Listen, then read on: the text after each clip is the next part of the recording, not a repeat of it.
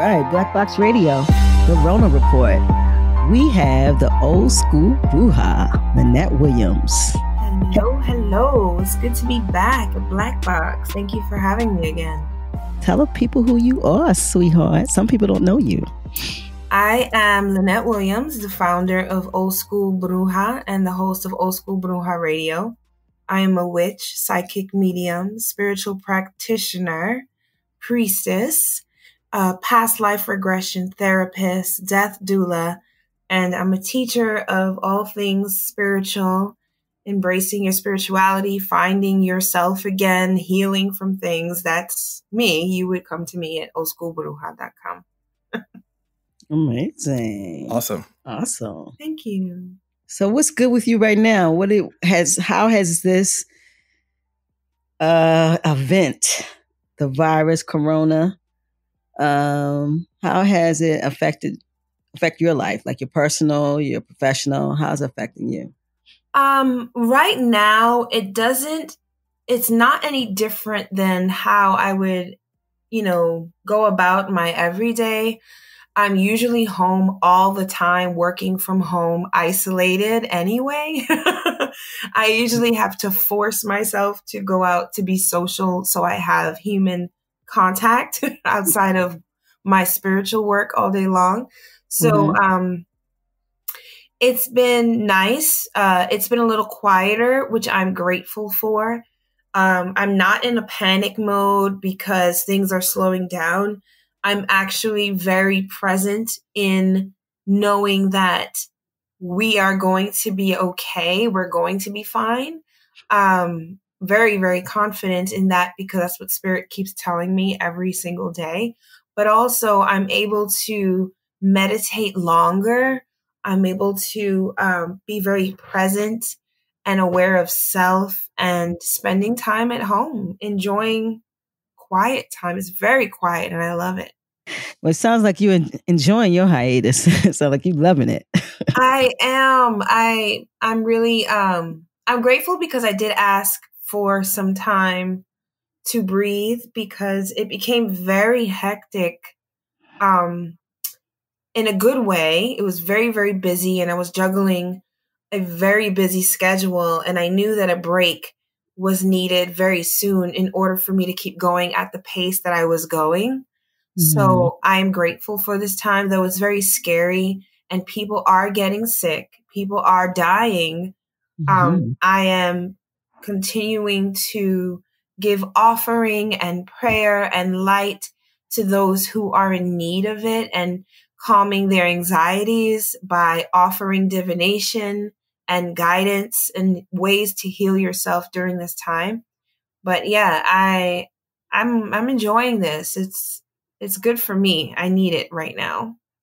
Okay.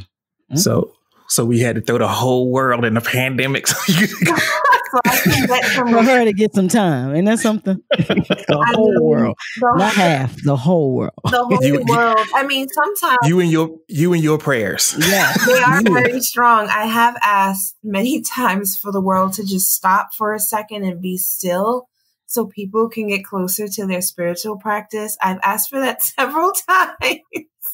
Oh, but like I never asked for the pandemic, so so don't blame that one on me. Okay.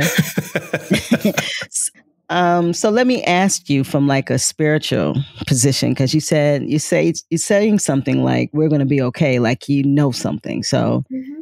kind of expound on that for the people okay so uh, back in December, I had received word that we were going to be in a situation like this, and I had been posting about warnings. I was telling folks to get their immune system ready for what was to come, which kept showing up to me as what looked like a plague and that it was going to sweep the world. And I was getting it every single day. And then I was getting that we needed to change who we are as humanity, as humans. Mm. What we do now is so important in this time that we are shut down, that we are in this pandemic. We are being forced to be still because we have to look at our character. We have to really connect with our spiritual practice on the deepest level. That means addressing things that we have not addressed within self, reconciling them, and becoming closer to your spiritual higher self and your creator. Also, during this time, we are to give offering to our ancestors, ask them for wisdom and guidance. Also, spiritual cleansing during this time is huge. So, fasting, staying in prayer, cleansing your spirit, your body, your home. Also, speaking life and love into things instead of being judgmental and negative. We really have to shift how we are towards ourselves, towards our own spirit, and those around us. We have been a very negative people as a whole. We have been very destructive to Mother Earth as a whole. And we have worn her out, Mother Earth. We worn her out. The the darker forces that have created this virus to shut us down, to hurt us, they also have a part in this and they will also learn from this as well. But we need to really work on self right now. We need to dedicate ourselves to being more compassionate and understanding and loving and really speaking, breathing, living what we preach and what, no matter what your practice is, you are supposed to be receiving things of words of peace and guidance and understanding, right? And, and community. So right now you have to put all that into practice. There's no mm. excuses. There's no room to say, I'll wait. I'm too busy. No, mm-hmm. we're not busy at all. We're being forced to be still right now, to acknowledge our spirit. This is a turn. There's a turning point in this. We have not crossed over yet. We're not out of the woods yet we haven't reached the peak of this yet. The next two weeks are going to be crucial and crucial in the sense that things are going to change around us so much that we're going to be forced to change how we move in this world. But mm. we are going to be okay. And the spirit of manifestation is all around us. Ogun, the Oshun, the Orisha, Ogun is around us, protecting us, protecting our homes. But if you are in good character, you will be fine. If you are not in good character, this is very, very difficult for you. Mm. What you got to say, Gene?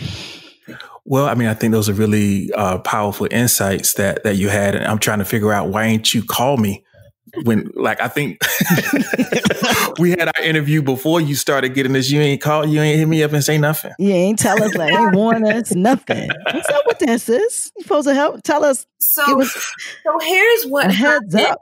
Here's what happened, and I haven't talked about it publicly yet because people are as I said, negative, and they immediately are like, yeah, whatever, you're trying to like get fame on something, you know, and and that's not how I work. So back in October, October 29th to be exact, I was sitting in my room and I had done my offering and prayer to my ancestors in Orisha for Samhain, Halloween, the Day of the Dead as well.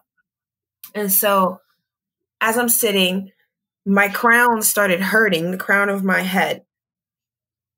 And then my third eye felt like it was ripping open, like my forehead was ripping wide open.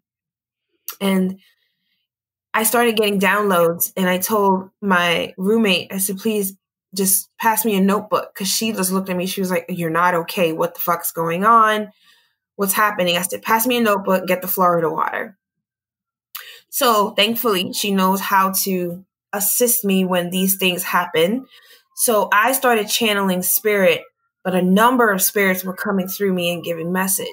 And I have an entire notebook that they gave that that that I filled that night with messages that they gave me.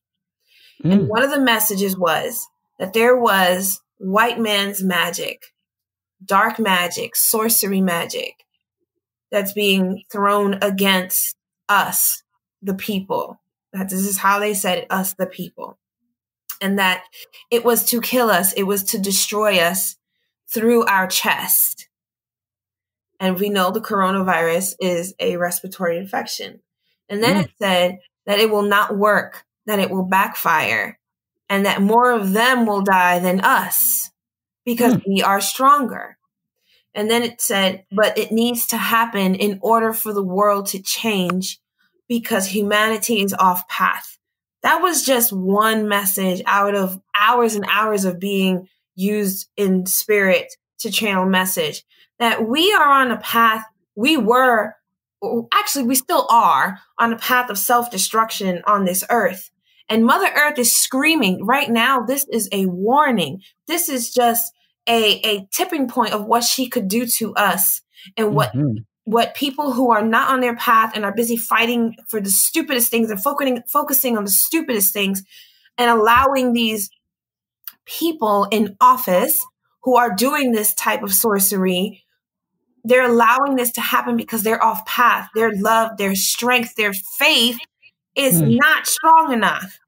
It's like right now everyone is being exposed. If you are one of faith you know for a fact that through all of this, you will be still and calm. Not one bit of anxiety will come to you because you know you will be okay. Through this mm. entire thing, I have been nothing but calm. My roommate, who I have trained in spirit work, is as calm as can be. And she was she was in the military. She has PTSD. And none of this has been shifting us. We have been going with the flow of spirit. Mm. And that's what we need to do right now. We can't fight against it. We can't try to control this. This is being present and allowing spirit to come into our home, into our space, and we can flow with it. We're changing minute by minute right now. So all you can do is stay grounded and stay centered, knowing that the end of this is going to be okay. And through this, you are supported by your ancestors, your spiritual team, and that you're going to be all right. No need for panic because fear hinders us from everything. Mm. So the people just heard that the coronavirus is a reset because human is off path. Absolutely. And it's a man-made virus. We know that shit. Ooh, so, got it. We know that shit. Okay. But I'm I'm not no scientist, but what I'm saying is, is what spirit tells me but this was necessary because we are, as a whole, society is so off path. Like the things you see, the things people talk about, the things people focus on, the things when they come to spirit, they ask for the wrong things. It's like, why are you not focusing on building character? Why are you not focusing on being the best soul that you can be? Why are you not focusing on fixing yourself through your practice, healing yourself through your practice instead of being so negative and judgmental and focusing on material things. These material things mean nothing because at any moment, just like our freedom, we can be stripped of everything and you will only be left with your faith. Wow. What will you do then when you have no faith? You have nothing. You're done. Awesome you know, I know we could do this forever, yep. but that that's really not the movement that we're, we're making on this particular remote call. I know we were scheduled to have you in studio again soon, and and as soon as it's feasible, we will definitely look forward to that. Mm-hmm. When, so, absolutely. And I will. I want you to talk um, quickly. You got an event coming, and we hope that um, it's still on, but need to say what it is.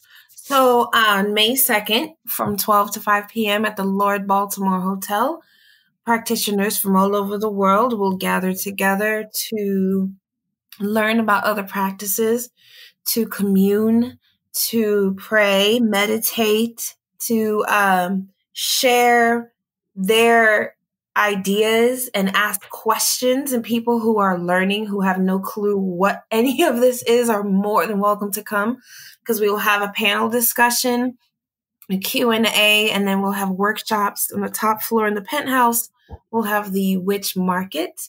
So that's where all witchy entrepreneurs will be and you can get all types of supplies and wellness products as well as enjoy the merlin blaze tea line in the lounge and there'll be an optional open, I'm sorry, optional cash bar and you'll have a full dining experience from hors d'oeuvres to the main course to desserts. It is per plate. It's a very elegant affair. It's brunch chic, uh, adults only. And right now the tickets are $65 per person. And we are still on, um, as of now. Everything seems to be on. We're still getting ticket purchases. Everyone has faith that this will work. We have speakers coming in to talk about all types of deep, amazing spirit work and community work and African spirituality, as well as radical Black parenting. Hello. She's mm. coming from South Carolina to bring you this goodness. I love her dearly. And we have Baba speaking, and I will also be speaking. I'm doing a presentation as well as leading the panel with my radio show. So, hey, it's going to be wonderful. And of mm. course, Blak Boxx Radio is our sponsor for the media. You're going to be there, right? Of course. We're going to be right there. This What's is going to do there? This is epic. Epic. So we're going to be there for that. And um, we really appreciate you talking to us and putting laying down your genius for the Rona report because you know it's we definitely need to catalog b- Black voices during this significant event in history. Yeah, right now, like just be easy and gentle with yourself. It's uncomfortable, and that's for a reason. Change is never comfortable, but it is necessary. So get into your divine practice and also, I'll be posting lots of meditation and healing and reading to you throughout this time. So you can follow me on Facebook, uh, Linnet Williams, and Old School Bruja official on Facebook. Instagram is the Linnet Williams and Old School Bruja. Yes, that was Sounds the LWT great. right there. Go ahead. Yeah. Thank you so much. And if you're listening now and you want to hear more from Linnet, we have a, a long, nice long conversation we had with her earlier. So make sure you go check that out at blakboxxradio.com. That's B L A K B O X X R A D I O. And you can also find Blak Boxx Radio on Instagram and Facebook at Blak Boxx Radio. Okay. And we're going to um, post these on YouTube too, right, G? Yeah, the the um, Rona reports will be on the Blak Boxx Radio YouTube channel, so uh, you'll be able to access access that from the website as well. So it'll be a good time. Yes, sir. Well, um, Miss Williams, you know every time you come through, it is epic. you always bring it, and we appreciate you. Ashe. we really appreciate you, and um, high tea. I can't wait. Oh my god, I can't wait. I want to know what you're wearing. brunch. Would you say brunch cheek? That's what I'm wearing. Whatever that have, is. You have your brunch brunch cheeks out. Yeah, bruh. yes. Brunch cheeks. Brunch messing with y'all. Real talk. Yo, this is the this is what we did with the old school bruja. Always a good time. This is the Rona report. This is 3 2020. Um, this is Blak Boxx Radio, and we out. Peace.